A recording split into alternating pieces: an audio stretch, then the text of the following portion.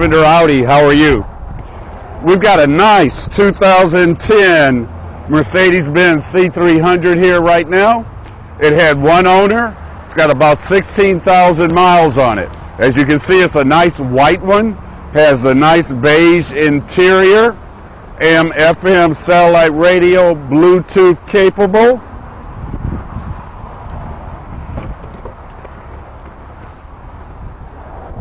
This vehicle runs very well, very smooth Mercedes-Benz ride in it. Also, again, as I always point out, you've got plenty of room in the trunk area for traveling to store your bags. So come on out and see this nice uh, Mercedes-Benz, a C300 at Cavender Audi.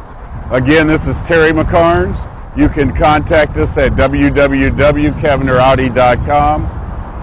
I'll see you later. Bye.